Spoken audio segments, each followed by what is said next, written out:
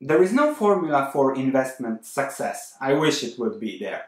But there is a formula for economic success. And economic growth, a country's economic growth is the driver of everything else, is the driver of the stock market, is the driver for earnings, growth in revenues. So if we can know which countries will do best in their economies, we can position our portfolios to take advantage of those trends, lower our risks, increase our returns. What I have found is a formula that explains with 84% of correlation what will happen in the economy of a certain country in the next 10 years. Now, I haven't invented it, I just have found it on Ray Dalio's Economic Principle webpage in his 305 page report that he shares freely with the rest of the world, with the hope that politicians, monetary politicians, take it and stop making decisions based on ideology and start using analytics, what he and his 1,500 researchers did. Good luck with that changing the politician's mind. I don't think he will manage, but what we can take from it is investment strategic data. And that's very, very important. And when it's for free, it's amazing. So thank you, Ray Dalio. Let's dig into what he has found. What are the most important factors affecting economies? And what will be the economies that will be the most successful in the next 10 years? So, according to Ray Dalio, and logically, the main driver for an economy is productivity. And then that productivity, economic output, can be pushed higher with indebtedness you have one long-term cycle that takes 75 years to develop and you have a lots of small credit cycles every 5, 7, 10 years. We are now also in a credit cycle, so expect it to contract somewhere in the future. Nobody thinks about it except Ray Dalio, so think about it. There will be a recession at a point in time. When? I don't know, but there will be. So what did Ray Dalio do? He tested the factors impacting economic growth based on productivity and based on indebtedness. And he found that productivity affects economic growth with 65% and indebtedness with 35%. The factors that affect productivity are the following the value of the labor, education, labor productivity, working hard, investments, then the culture, self sufficiency, savoring life versus achieving, innovation and commercialism, bureaucracy, corruption, rule of law. Those are the most important factors in increasing productivity. As for indebtedness, the most important factors are debt and debt service levels, debt flows, and monetary policies.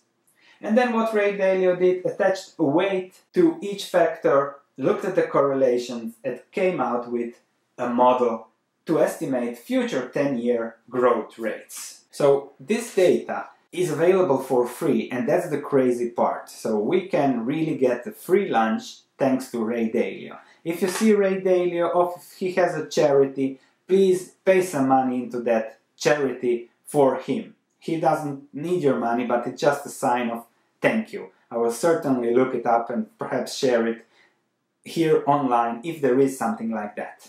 Back to the correlation, here is what his, his model does. He analyzed how those factors impact economic growth on 20 countries and checked it 65 years in the past and looked at how that factors impact future 10-year economic growth. Correlation 84%. So if you want a good correlation, a good investment trend, then you have to follow this. And to make things even easier for us, Ray Dalio took all the world data, put them into his model, and showed us which countries will do the best. So we don't even have to work hard. We have all the data already presented and laid out. Thank you, Ray, again. Here are the data. India will grow the fastest. China, Singapore, Mexico, Thailand, Argentina, Korea, Brazil. Then the first developed country on the list is United States, which will still show the fastest growth of all the developed countries, followed by the UK.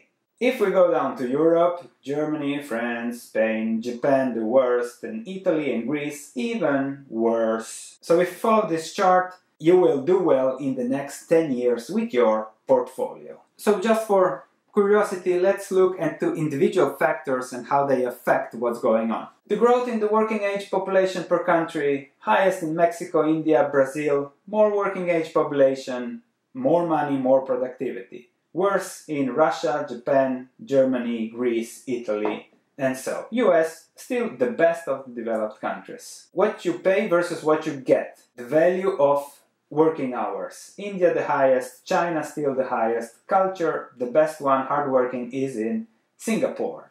The worst culture to work, Italy, Greece, ooh la la.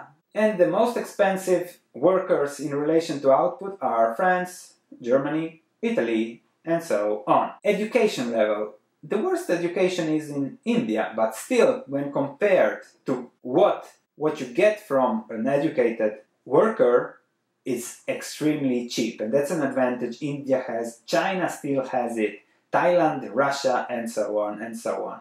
The most expensive workers is France, Italy, huh, Germany, Europe, and so on. Why did I resign when I was paid so well for doing nothing? Hmm, interesting. Nevertheless, let's go on. Indebtedness. Countries that are lowly indebted in relation to their potential. India can really invest in their infrastructure. Singapore, Mexico still can take a lot of debt for the future. US is still there, still strong, so very good. Worst countries Japan, Greece, Italy, la la la, always the same, Spain and so. Sum it up, back to the figure we already saw, the strongest India, here we have the correct numbers. China, Singapore, US, the strongest of the developed countries, and then down to Europe with the worst expected real growth rates in the future. So this data is essential when positioning your portfolio in the future. How to approach that? Look at valuations. It's not just jumping into India and I'll make now a video on, about how to invest in India. It's not easy. You see the growth, but it's not that easy to invest. It's not just putting my money in Indian companies. You will see in the next video why you need to know how to invest in India. Read The Economic Principles of Ray Dalio. It's a 305 page report. We'll still discuss a lot of things of the report, so please subscribe so that we can interact, comment, share our knowledge. But that report is essential to see how the economic machine works, to see how the economy, global economy works, how it is fit, what are the risks and what are the potential rewards because that is what the fundamentals, the productivity is what will mostly influence your return in the long term. So really focus on that. Thank you for watching. Leave your comments, click like if you like the content. Don't forget to subscribe and I'll see you in the next video.